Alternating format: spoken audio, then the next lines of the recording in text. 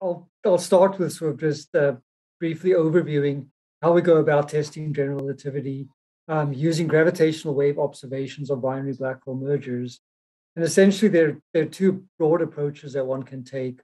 Uh, one is so-called self-consistency tests within general relativity.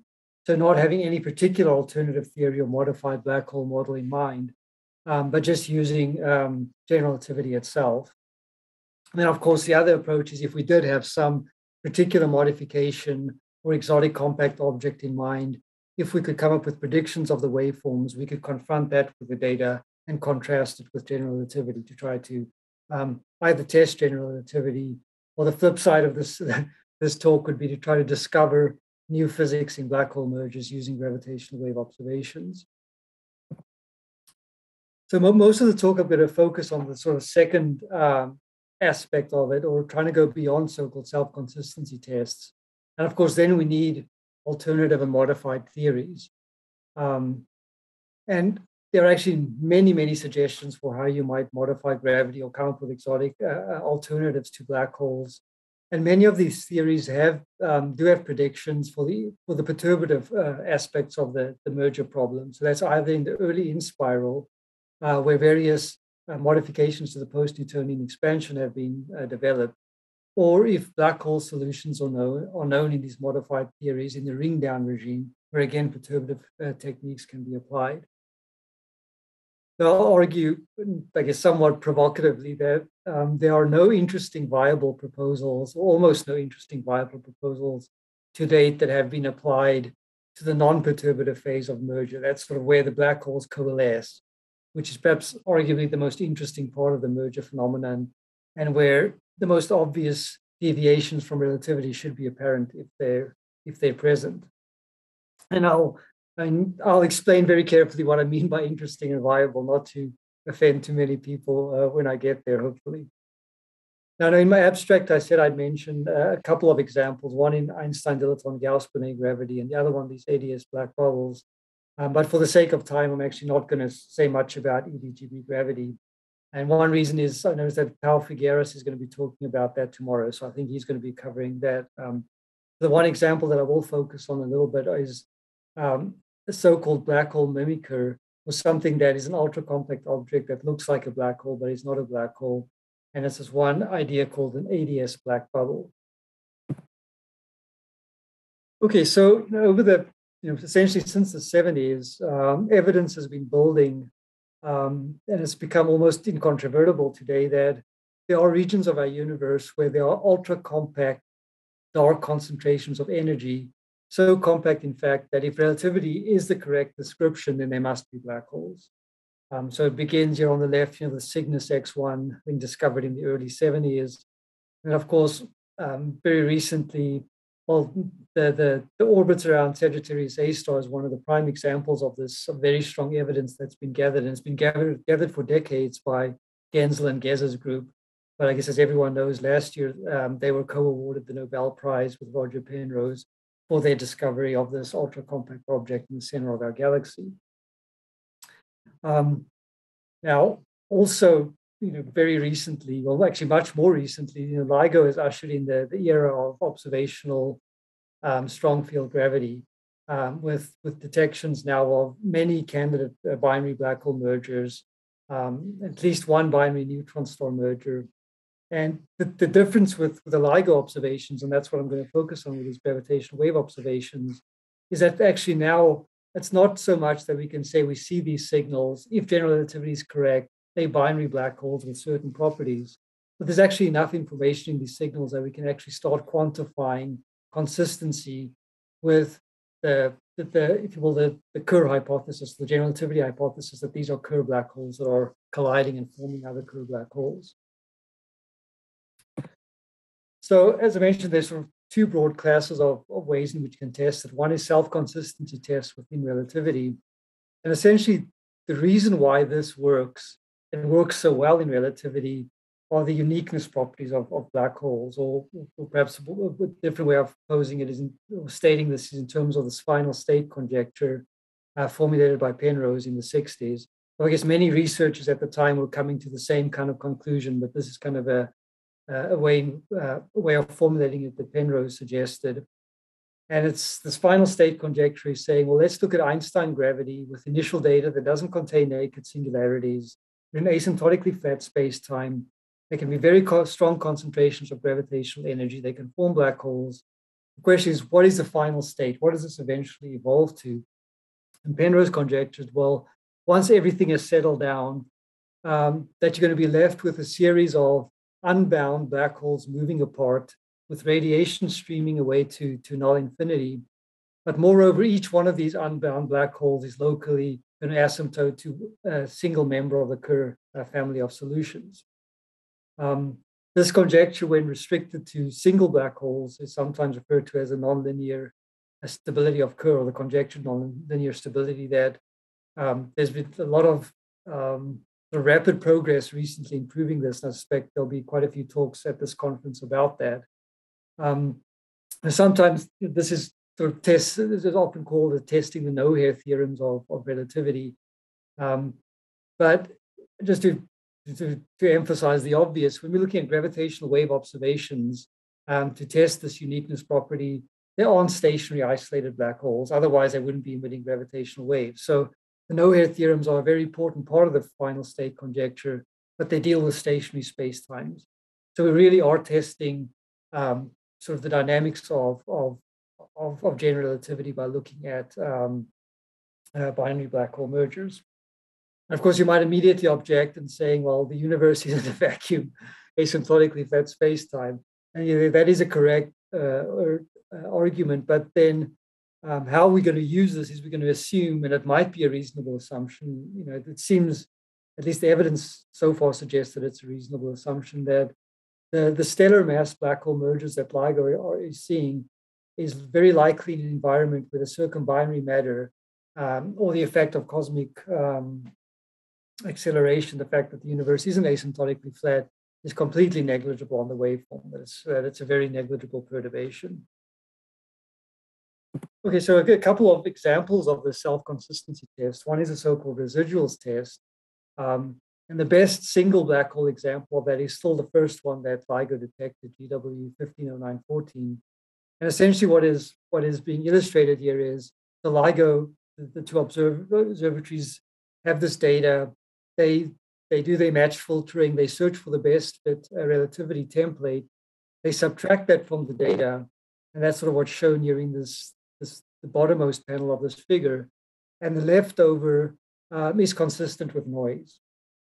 So the residual after uh, subtracting out the, the best fit uh, template is consistent with noise.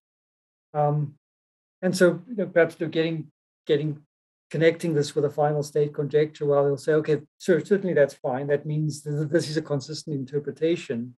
But imagine what if what if some residual is ever discovered? Why could you kind of if, if you're confident that it's an astrophysical uh, source, it's not noise. So you discover a, a residual why would you be confident to say that this must be some kind of a modification to general relativity um, and not perhaps some novel black hole where we don't have templates for it yet? And of course, the answer is the final state conjecture um, in relativity, that there are no other options. If we've covered our parameter space with a with a merger of two black holes and the corresponding waveforms, there are no other structures that we should see. That this that this it's you know, not a very high dimensional parameter space in terms of you know, possibilities. So if we've covered that, these are the only kinds of signals that we should see. And of course, the caveat is perhaps there's some unusual circumbinary environment that we haven't seen. But in any case, barring that, um, it's really that we can make such a strong statement is because of the final state conjecture. Another example that, that LIGO has also um, uh, done, other than residuals, is um, is sort of consistency between different parts of the waveform. Um, and so one, one, one consequence of the final state conjecture for understanding the physics of black holes using gravitational wave observations is unfortunately we're not going to learn anything new about the physics of black holes with ever more detections or ever higher signal to noise ratios. And we'll definitely learn about the astrophysics of black holes, their populations, etc. But if the only kinds of black holes out there are Kerr black holes, we pretty much know everything already. Um, so that that's a bit unfortunate for learning anything new about the physics of Kerr black holes. Um, on the other hand, how we can then use this to test relativity. So imagine a very high signal to noise ratio detection that LIGO eventually makes. That implies there's a lot of information in that signal.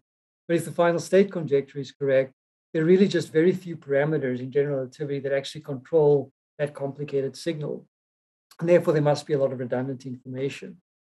And so, for example, here with this inspiral ring down comparison, by looking at the inspiral only part of the waveform, an estimate can be made of the, properties of the progenitor black holes, the two black holes that are about to merge. And then using that, we can uniquely predict using general relativity what the final mass and spin of the remnant must be. Then independently, you can look at the, the ring down portion of the wavelength, oh, sorry, of the waveform. Um, and based on the, the decay frequencies and uh, sorry, the, the, the, oscillation frequencies and decay constants of those waves, you can again map that to the mass and the spin of the final uh, Kerr black hole, and they better be consistent. And that's what this plot uh, here sort of indicates is these two different measurements of the, the difference in the spin or the mass from the GR prediction from two different parts of the waveform, and they're consistent. And so, for example, with the ring down, in particular, you can imagine the more uh, independent quasi-normal modes that can be measured, the more sort of independent estimates of the final mass and spin you can make. And if, of course, if general relativity is correct, they're all going to give the same answer at the end of the day. And in fact, recently that there has been a claim that, in fact, the, the first um, overtone of the leading order quadrupole mode is also observable in this data. So um, there is already, so this is what I mean by quanti quant quantitative evidence that general relativity is correct, and these are uh, Kerr black holes colliding. So, okay, but most of what I want to focus on here is okay, going beyond these self-consistency tests. So, so how would we? Uh, well, why would might we want to do that? Well, I think what these self-consistency tests have already shown us is that uh, in this dynamical strong field regime where black holes live, general relativity can't be completely wrong. Um, it's mostly got it right. So if there is something that's wrong, or there's something new or something interesting going on there that we don't know about, it's got to be a subtle effect. Um, and so, one perhaps problem with the consistency test is it's not the most sensitive way of digging into the data to try to find those uh, subtle effects. Um, and in particular, for example, like subtle effects that might be traded off with parameter bias. But then another reason to perhaps look at like how waveforms in principle could be different is, you know, the other side of the, the testing GR coin is let's look for something new. Perhaps what if something new is discovered how can we interpret what it is? If we just had uh, a residual, we told us that something's wrong. Well, what does it point to? What physics does it point to? What structures around the black hole might it point to um, to tell us what's going on? Um, I think to, to answer those questions, you really need to be able to understand well, how could things be different if relativity was wrong? And that would be one, one of the motivations for trying to go beyond these self consistency tests. As I mentioned in, in the outline, there, there are many alternative uh, uh, theories out there or modifications to compact object or alternative to compact objects. And for many of them in the early inspiral, uh, the effects on the post-Newtonian expansions have been computed. And so these theories have already started to be constrained by the LIGO observations.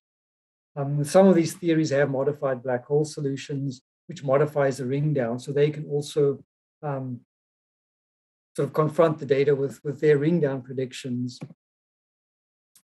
But at the moment, there's no there's no concrete prediction for a modified theory in the merger regime. So what are we missing um, by not looking at the actual merger uh, part of the part of the signal? And one one is just a simple reduction in effective signal to noise. There's a lot of the signal that is we can't use to come up with tighter constraints uh, of, of of relativity, which I'll illustrate in the next couple of slides. But then, even though you can imagine that, that many kinds of corrections or modifications to relativity will affect the entire signal.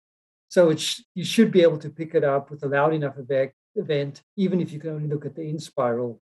But there are some examples. Um, for example, perhaps the most uh, famous is a so-called dynamical scalarization in certain scalar tensor theories. And this will only be relevant for binary neutron stars, but this is an example where you largely won't see it through most of the inspiral, and it will almost step function like turn on at a point very close to merger.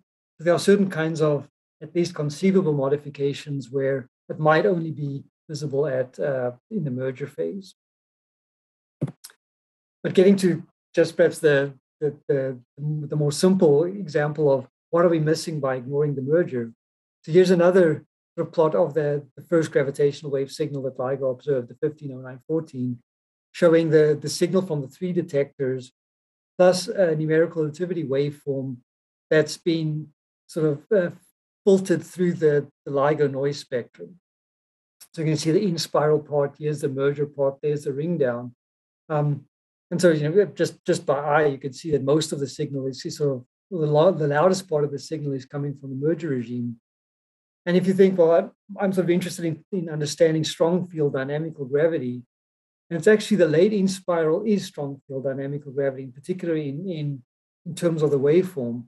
And just as to illustrate, so this, this is the actual signal if it weren't filtered through the LIGO noise. So if LIGO had a flat, had a flat sensitivity spectrum um, was at equal sensitivity to all frequency bands, you'd see that there's actually a strong signal in the spiral. But for these, these more massive, uh, like 20, 30, 40 solar mass black holes, most of, of the low frequency part of the signal is LIGO is not very sensitive to. And so there's just a selection effect based on the properties of the detector that means that it's really zooming in on this, this, this merger phase. So both because of the, the nature of the detector um, and the kinds of black holes that we are seeing, we're actually, most of the signal is coming from this merger phase. So that's really where we want to be digging into the data to test relativity or discover something novel. Okay, that, that gets us then, well, well, why why don't we have prediction in this non-perturbative regime? And and that that's where I sort of said I would argue that at present there are really no interesting viable modified gravity theories um, that are applicable to the merger phase. Um, and I like I like this illustration because this, this Kip Thorne is not working on modified gravities, gravity, but this is a a slide that he came up with in the late 90s, um, where at the time we didn't understand the merger phase in general relativity. And so this was his um, sort of argument for why we had to understand that to be able to interpret and detect eventual LIGO detections. Of course, he was he was wildly optimistic with how interesting the merger regime in, in terms of the waveform structure it would be in general relativity. It's turned out to be a lot simpler.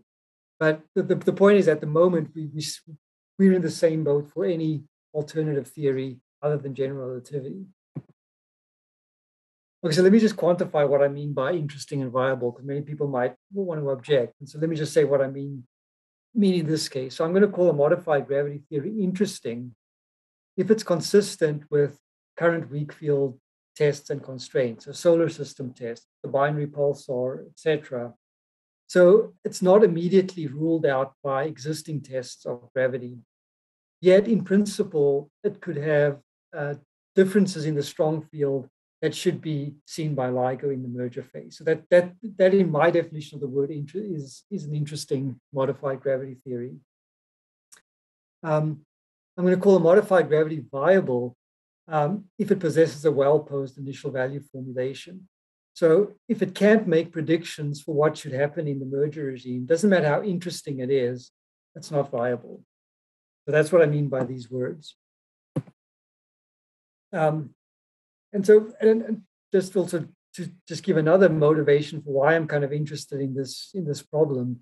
Um, in particular, like as of now, there's no reason to suspect that the general relativity description um, is not is not valid for for stellar mass binary black hole mergers. But it's just one of theoretical curiosity. Um, if you think of a classical metric theory of gravity, what are the possible black hole like solutions that it has, and what are the possible dynamics that it could have? Um, and perhaps by analogy, you could ask the same question for a metric theory of gravity. Um, what are the possible propagating degrees of freedom in weak field? In the weak field, and in that case, we know what the answer is that there are six propagating degrees of freedom in general. And so, in that case, relativity is actually a very restricted class of geometric theories in that it only allows the plus and the cross polarization. So then the puzzle is well, or, or perhaps it's perhaps it's not a puzzle, but why haven't people been able to answer or even start to answer this question the modified gravity theories in the strong field regime? Or perhaps it is that somehow there's something unu- unusual that happens with metric theories of gravity where they kind of uniquely predict that the strong field is Kerr black holes. But that, that's that's that's to me an interesting question to try to answer is like what what can possibly happen in the strong field for generic theories.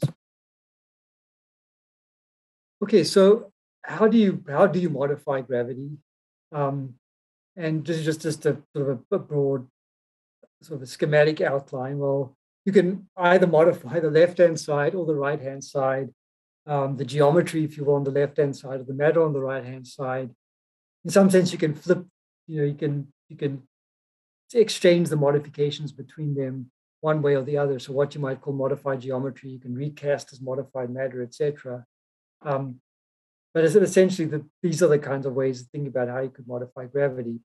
And usually, if it's modified on the right hand side, or that's where most of it comes from, you might think of them as exotic alternatives to black holes perhaps alternatives to black holes, but new classes of exotic compact objects.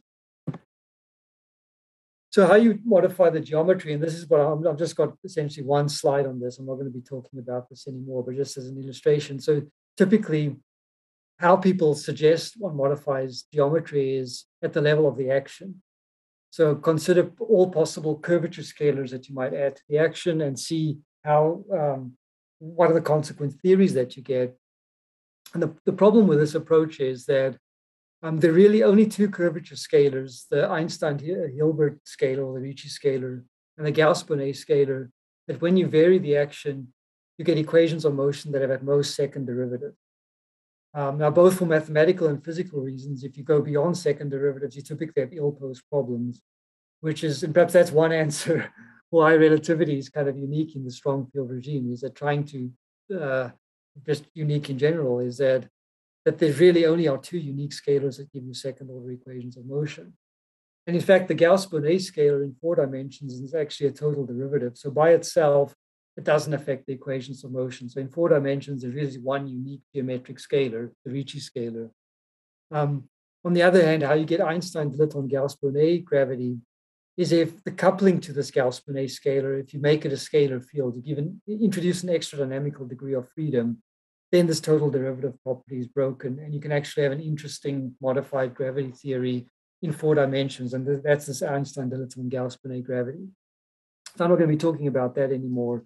Um, I think Pau is going to talk about that tomorrow. So, so now the other side is uh, looking at modified matter. Um, and so-called exotic alternative to black holes.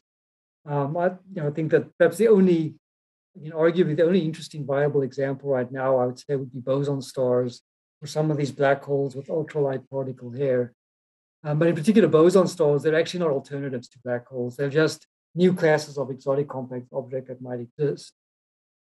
But on the on the on the side of I think, very interesting suggestions for alternatives, things like traversable wormholes, gravastars, fuzzballs, etc.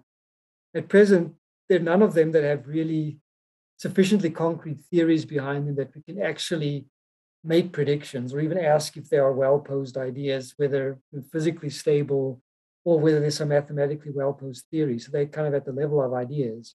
Um, nevertheless, people have suggested that there are possibly interesting consequences, even though they don't, we don't know the dynamics of these objects. So, for example, one of them is that if there are compact objects that don't have horizons, the expectation is that the, the ring down signal will exhibit these, these echoes. Um, on the other hand, with comparable mass mergers, I'm very skeptical about these kinds of predictions um, because the, these calculations are taken by looking at a stationary object and then usually just a point particle plunging into it or some kind of a perturbation. And that's very, very different from the kind of excitation that might happen by a comparable mass merger. Um, and so just as a cartoonish sort of case in point, just imagine we had traversable wormholes and ask, well, what's going to look like when two of them merge? Well, with traversable wormholes, in principle, you could have this kind of topology. So this, this top sheet would be what we see in our universe. There are these two wormholes to other universes or other pieces of our universe and they merge, well, topologically, how is this thing going to settle down to a single traversable wormhole?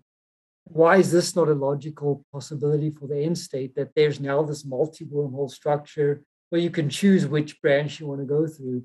And if that happened, why on earth would the the ring down or the echo looks something like what you'd see through a single wormhole. And so, of course, that's, I mean, I just made up this example, but this is the, the kind of thing where um, I think these, these exotic ideas are interesting, but if they can't make predictions, it's, it's questionable how useful some of these, um, the, the, these statements are. Okay, so that, that, gives, that brings me the last part of the talk to um, to trying to start to address this question, or, or, at least trying to put some theory behind some of these ideas so that we can come up with, with concrete predictions, either to rule them out or perhaps discover something interesting. And so the, the one, this is focusing on one of these exotic alternatives to black holes. And this, this one um, actually does, I think, have a well posed uh, initial value problem. These are the so-called ADS black bubbles that was proposed by Danielsson, De Vittito, and Giri several years ago. Um, they conjectured that these are solutions to string theory. They, the, the, equations are, I, mean, I don't know about, I'm not a string theory expert, but at least according to them, it's too complicated to solve, but they're at least suggestions that these kinds of objects could arise from string theory. And essentially what, what they what they proposed is that for the non-rotating case, that there would be a solution where there's an anti-de Sitter space in the interior, and the scale of that, the, the length scale is set by Planck scale physics. So the microscopic physics determines the, the, the cosmological constant in the interior. Um, there's a shell of essentially stringy matter, various membranes and things that form a shell. Um, and outside, um, at Schwarzschild space-time, but the interesting thing that they argued is that for this thing to be stable, it's actually going to not sit very close to the horizon, but actually at the Buchdahl radius, to some macroscopic distance outside of R equals 2m. Now, the, the, the interesting, the further interesting thing that they conjectured is that for large black hole, black, black bubbles, so where the radius of the black hole is very large relative to the length scale set by the interior cosmological constant, that the, the, the stringy matter that makes up the shell has an effectively a classical description, and the space-time geometry is effectively described by Einstein gravity. So in that case, um, in that limit, to a very good approximation, purely classical physics should be able to describe this bubble. And they, they, they said that, the, that in this limit, this shell is actually composed of three main constituents that are well approximated by ideal fluids. In fact, there's actually two two main constituents for the large black bubble case one a relativistic gas, the other a membrane. There's a, there's a subdominant stiff gas component. Um, so, so this bubble is composed of sort of a multi-component fluid in the classical limit.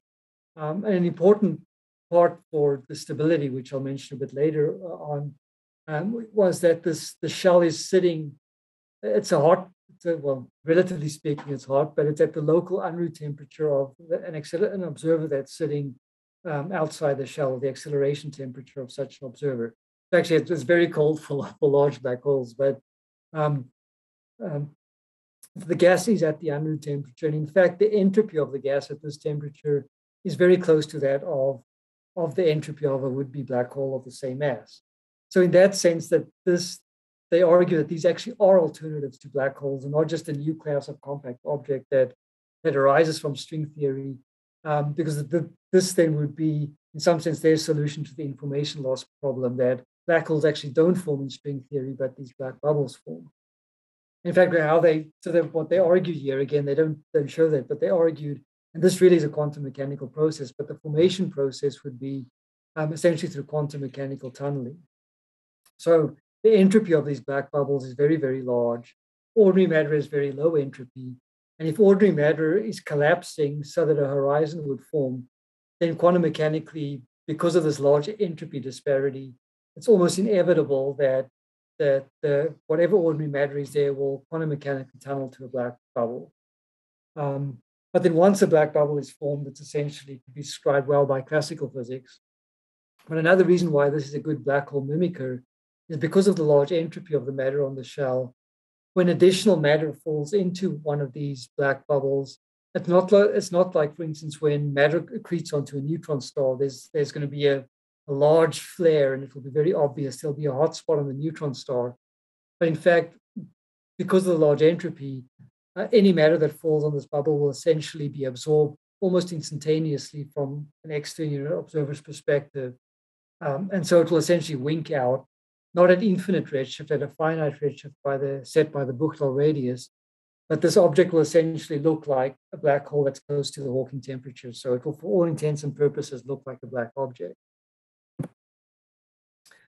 Okay, so they've essentially they, they put their conjecture on the line by allowing it to be treated uh, by, by classical physics, which means that we can actually start addressing the question, are, are these classically stable? It's as interesting as an idea as it is, if it's not classically stable, then then then this then it's it's not a viable um, alternative. And so what what they argued is um, they at least they did this quasi-stationary analysis and showed that in fact this uh, these black holes were stable, and a crucial part of it was um, that between these that there's an internal interaction that happens between the various constituents, in particular between the gas and the membrane. Um, so an internal flux that operates between them, reacting to perturbations, always keep the shell at the local Unruh temperature.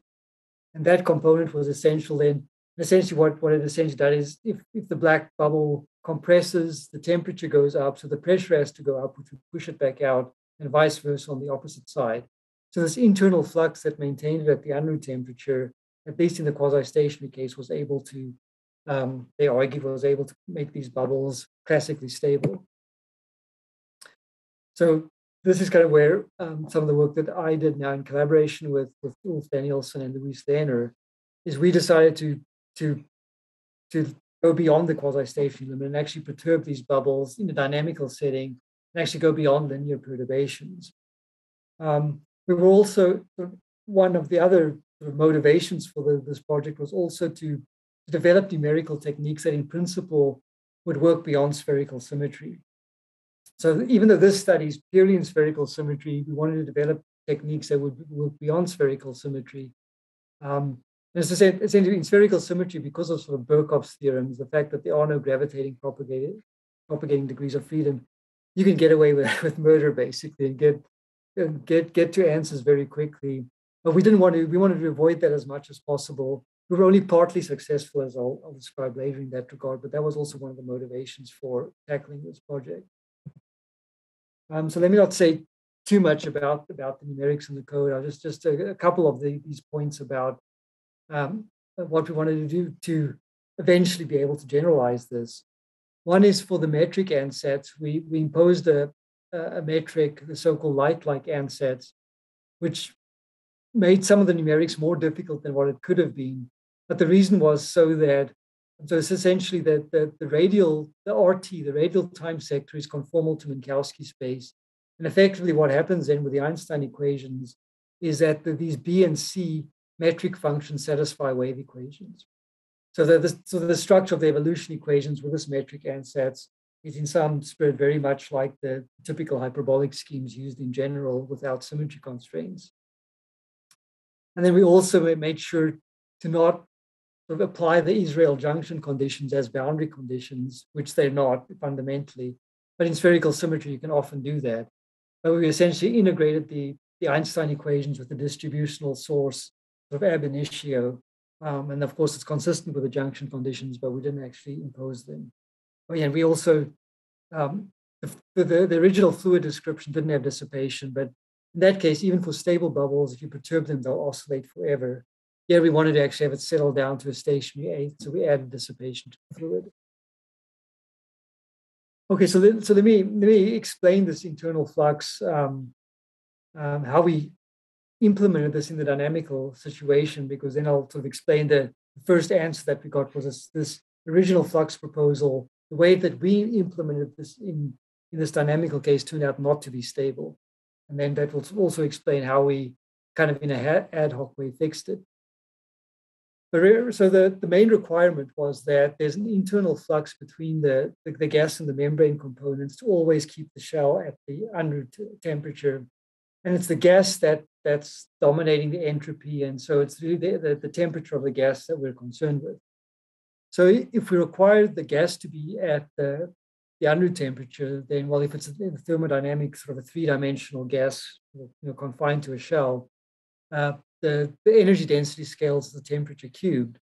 therefore the fractional change in energy density um, is related to the change in temperature, which we can then relate to the change in the proper acceleration outside the shell. So this is the relationship that we want to impose. On the other hand, this being a classical ideal gas, it's, it's subject to the Euler equations, which in some sense don't care about the temperature, and that's what I've written here on this line. So this says that the change in the, the, the energy density of the gas is proportional to the fractional change um, in the area of the gas given by this function f. And these two equations, we can't impose them simultaneously. Generically, they're not going to be consistent. So what we do is add a flux to this equation, the Euler equation, such that we essentially exactly get the, this, this temperature constraint. So basically, the, the, the, factor of f that appears here is we're basically throwing away the Euler equation and replacing it with this, this temperature constraint. And to be fully, to be in, in all self-consistent, um, the energy uh, that that does this, or the where where the energy, the source of energy for this flux comes from the membrane. So we add this as a source to the, the gas component. We subtract this as a source from the membrane. So the net energy of the gas doesn't change. It's a pure internal reaction uh, that it can maintain this, this um, relationship. Okay, so when we, we, we, tried this and you know we we were, uh, we, were we, we, we were stumped for a long time because nothing that we did, none of the parameters we tried uh, could get stable bubbles. And in fact, they're wildly unstable with this prescription. Um, it's not just that they stay around for a while and then collapse. But essentially, every case we looked at, they form the bubble either explodes or it collapses to a black hole in the light crossing time. And here's, for example, one example. So we take um, a bubble initially uh, normalized, you know, it's at the Buchdahl radius, but you're normalized to its initial radius. Yeah, we give it a small scalar field of perturbation uh, where it gains one one thousandth of its mass, and here it collapses essentially in a light crossing time to, to a black hole. Um, just to, to illustrate the, the simulation. So here's an example of, this is this example with a scalar field. So here on the horizontal axis, it's our coordinate x-axis, which we map to the, the radial coordinate in, in, a, in a non-trivial way, but in a way that the, the coordinate radius of the shell remains fixed. The outer boundary here is at quite a large distance. This sort of Gaussian pulse of scalar field is time symmetric. So when I play the animation, part of it is going to go towards the bubble. We're going to accrete all of that onto the bubble, and part of it is just going to move away. But it's the accreting part which perturbs the bubble. So you can see here the scalar field vols. There it's it's accreted onto the black hole. It's the exterior is settling down. Of course, here on this movie, we can't see anything happening in terms of location because the bubble's at a fixed location. But monitoring the proper area of the bubble, the areal radius, it does collapse to a black hole just to, just to illustrate through the, the, the fact that we actually are evolving a discontinuous metric at the location of the shell bubble. It has to be discontinuous because of the distributional matter. But yes, for example, on the left is a, uh, the, the B and the C metric functions. The top line is B, the bottom one is C. I don't worry too much about what they mean, but this is much more to illustrate that we are stably evolving um, these distributional matter sources then not, not too much interesting happens here until it actually collapses to a black hole. Um, but on the right hand side, I'm showing the time derivatives of these. So the left hand side, it's they discontinuous. Sorry, they they they smooth but non-differentiable. And the right with the time derivatives, they actually are discontinuous. Here you can see the gauge waves propagating. So you can see within a you know, essentially one light crossing time of these gauge waves, things uh, trapped surface forms. Okay, so uh, what was what was wrong with the original quasi-stationary analysis? Um, and just to illustrate, um, uh, this is essentially they, they they missed an important part that that that comes up when there's dynamic. So this is uh, the proper acceleration of a state of an observer, not necessarily stationary, but the proper acceleration of, of an observer. Now here in Schwarzschild coordinates for simplicity. So the usual Schwarzschild form of the metric and you can see the, the, essentially the areal velocity and areal acceleration, capital A, shows up in this expression. And what the quasi-stationary analysis effectively did, did was drop those A and V terms. The V term is not too relevant. It's really this A term, which is which is the, the problematic case. And it turns out that, look, of course, the, the gradient of f with respect to r is a constant sign, but the acceleration, this capital A term, can have an arbitrary sign depending on the acceleration. And in fact, it's such that with a typical case where we start with a stable black bubble and then perturb it, it's almost it's always got the wrong sign. And so this this dynamical acceleration term uh, completely counteracts the stabilizing effect of, of what the flux was designed to do. So we kind of invented a kind of an ad hoc fix by, by asking, well, what locally can the material on the bubble respond to to trigger this flux? Well, at least in this model, the spherically symmetric case, it can only respond to local changes in the acceleration or to local changes in the, the, the area element, the local volume of the shell. So we generalize the flux prescription by putting in these arbitrary uh, constant parameters. Again, okay, so this this is ad hoc. We we don't have or Ulf doesn't have string theory arguments to suggest why this might have to be modified, but at least um, we're trying to sort of salvage this model by by doing this. And now we can actually find regions of alpha and beta parameter space where this, this, this these bubbles are stable. But one problem um, and this is now getting back to where I mentioned um, we wanted to develop a code which was easily generalizable beyond spherical symmetry, but this is one, one place where we failed. And the reason turns out to be so one, once we've we generalized this, we actually did a proper or a more thorough linear stability analysis and noticed um, that well, we, we couldn't find any set of constant parameters that work for all size bubbles. So the, the, there's a new scale that's involved, this, this ADS length scale. And it turns out that small bubbles behave very differently compared to large bubbles um, um, in, in this model. And it's easy to stabilize small bubbles at the expense of large bubbles and vice versa. We haven't yet been able to find parameters where it can work in both cases. But the large bubbles are the ones that are relevant for astrophysical applications. But our non our PDE code uh, cannot doesn't work well, very well when the cosmological constant inside becomes large. So we can't actually study the large bubble case effectively. So just to figure out, well, is this model worth pursuing more? We need to know if the large bubbles are stable. So we cut corners and then come up. We did use the Israel disjunction conditions as boundary conditions in a in a separate ODE model where we could look at nonlinear perturbations, but essentially just restricted to the bubble and do a more efficient uh, study of parameter space. Um, and one interesting, interesting one, one additional benefit to having two parameters is we actually found regions in this alpha beta parameter space where we could stabilize bubbles, which means we could then um, use it, use one of these parameters to add features to the end state. So what we found was with um, just just picking some region in this parameter space where things were stable, um, that typically after perturbation, the bubble would gain mass but it would evolve to a new radius that was not at the new Buchdahl radius. So if that seems to be a, a, feature that string theory is saying is important, that might be something that we want to put in this, this, uh, this model. And in fact, we can do that. We can therefore add an additional constraint where uh, after perturbation, it does settle down, at least in the linear case, to a new uh, Buchdahl state. Here's an example um, of of, of such of a result from, from that, that ODE based code. Um, so this shows the, the fractional or the evolution of the radius as a fractional deviation from its instantaneous Buchdahl radius. So zero would be if it's sitting at the Buchdahl radius. Um, and here just for, you know, for interest, we perturbed the shell twice with identical perturbations just notice that the x-axis here is a logarithmic uh, scaling proper time. So it's actually identical perturbations. It just looks very sharp at this later one because of the logarithmic scale. So we perturbed it a second time before it was even settled into its final state.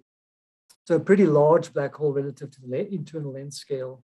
This first set of parameters gives stable bubbles, but as you can clearly see, it doesn't settle down to a new Buchdahl state. But then using this relationship, uh, here's a second example of stable parameters where at least to linear order does settle down to a new Buchdahl state. Okay, so um, that, that, that, that, that's sort of the end of my, my talk. And sorry, I did go a few minutes over, but just, just to conclude so the first, of the broader picture, um, I think we, we, the era of gravitational wave observation of the universe has arrived. And, you know, if I think if, if we all expect general relativity is correct, we're definitely going to learn a lot about compact objects in the universe. Um, at the same time, we're now seeing a, a regime of, of gravity that's never been uh, explored or tested before in labs on Earth or, or, through other means. And so this is really the first direct window into to, to testing strong field relativity.